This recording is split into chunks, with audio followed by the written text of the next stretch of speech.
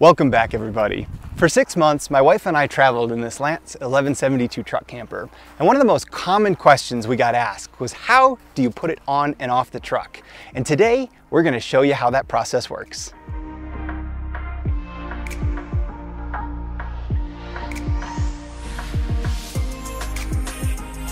One of our favorite parts of traveling in a truck camper is the ability to take it on and off the truck. This allows us to be small and nimble, but still have the flexibility of being able to drop the camper, have a home base similar to a fifth wheel or travel trailer. This also allows us to use the truck with its full capabilities, go off-roading, and be even more nimble than with the truck camper on it. In our six months of traveling in this, we took it off about a dozen times for various reasons and love the versatility. So let's show you how it's done. So we're gonna start assuming that the truck camper is already on the truck.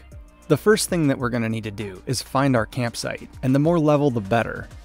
While truck campers can be leveled once off the truck, having a dip under one of the legs or having to level it too much puts additional stress on the camper, so we prefer to attempt to level the truck before taking it off. We utilize the truck's onboard level detection system, but additional sensors or bubble levels can work as well.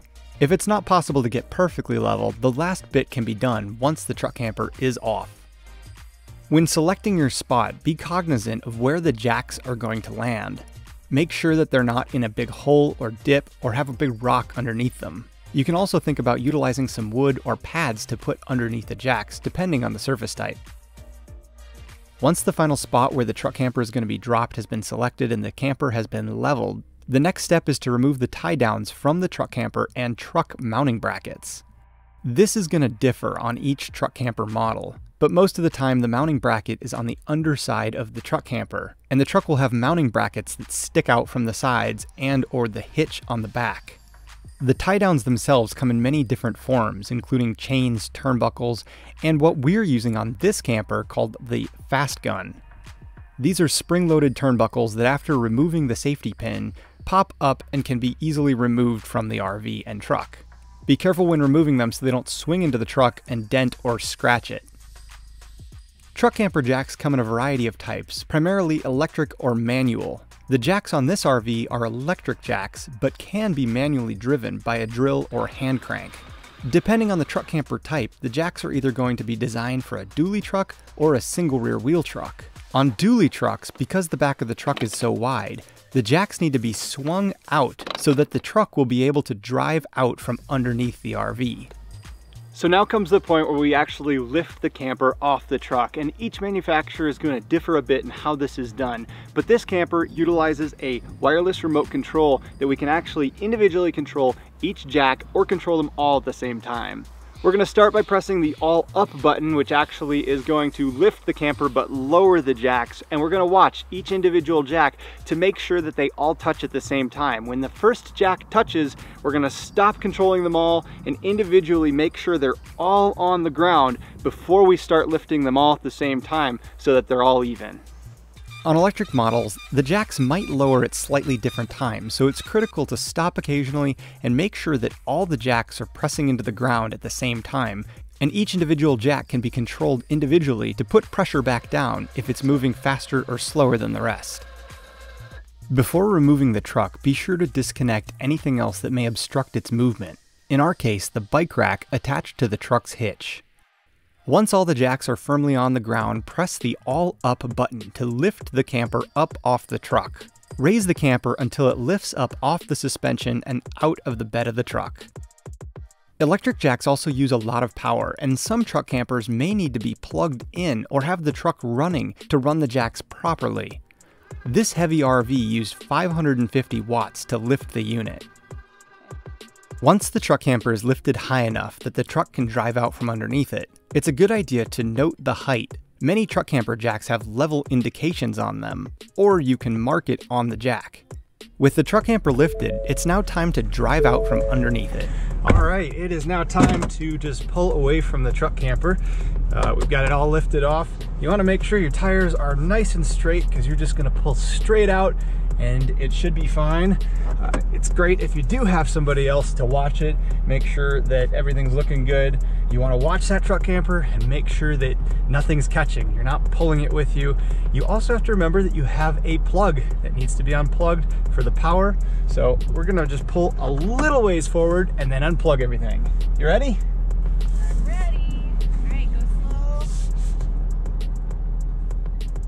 After pulling forward only a foot or two, it's time to unplug the truck camper. Truck campers connect to the truck for electrical power and lighting, and this needs to be unplugged. Some of these plugs run to the back of the truck, and some of them are plugged in in the bed itself, as is the case in this camper. All right, with everything unplugged, we can just pull away.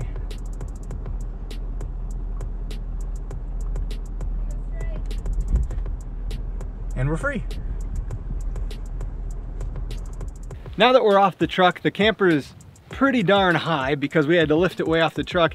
And because of that, with all the really kind of narrow legs, it's actually kind of wobbly. I can just push it around like this. So we lower it as low as we can go to the ground to maximize stability for getting in and out. And it really, really firms it up. As we lower it, we need to make sure that all the legs lower at the same time because one motor may be a little faster than the other. You may notice that one will come off the ground and it can teeter a little bit. So watch it as you lower it to the ground. And if you see one that's starting to go faster than the other ones, stop and make sure that that one's pressing into the ground so that it's a nice even movement of the entire camper. The truck camper can be lowered as long as nothing is obstructing it, and in the case of this camper, just until the steps near the ground. Once lowered, the truck camper is ready to use, or if you have slides, now you can put them out. With a truck camper with slides, be sure that the jacks didn't settle or slide after taking it off the truck, as this can cause the truck camper to torque and bind the slides. When it's time to put the camper back on, it's just a matter of reversing the process. First, pull the slides in and raise the camper back to the position that you noted when you raised it off the bed of the truck.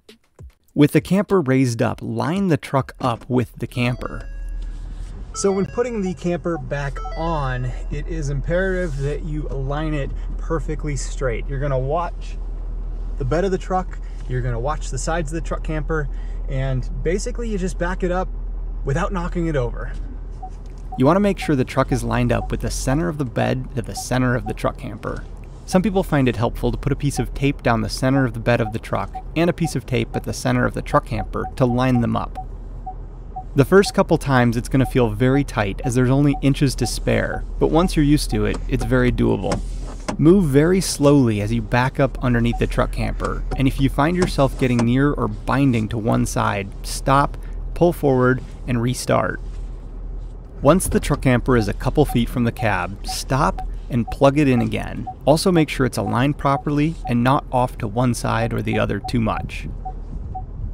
With it plugged back in, slowly back the truck up until the camper bumpers line up with the front of the truck bed. And stop. Start lowering the camper a bit to see how it's going to rest. And at this point, you may need to move the truck back or forward a few inches to get the perfect fit. Perfect. You're good. Once it's lined up properly, lower the truck camper onto the bed of the truck and onto the truck's suspension. We like to raise the jacks all the way up to help prevent dirt buildup and keep them cleaner. Once the jacks are all the way up, it's time to reattach the tie downs. As the position of the truck camper may have shifted slightly, the tie down's tightness may need to be readjusted. With the fast gun tie downs, they screw in and out, and as they are spring loaded, to find the proper tension, you want to connect them and snap the turnbuckle down, making sure that the spring extends about a quarter inch. At this point, you should be ready to roll. Initially, this process took us about 20 minutes to take the truck camper on and off, but with practice, we are now able to do it in about 5 to 10 minutes. So as you can see, with a little bit of practice, taking a truck camper on and off can be a pretty easy, smooth process. If you're interested in seeing where we have traveled in this truck camper, check out our Go North series, where we traveled through Canada and Alaska in it. Thanks so much for watching. We'll see you all next time.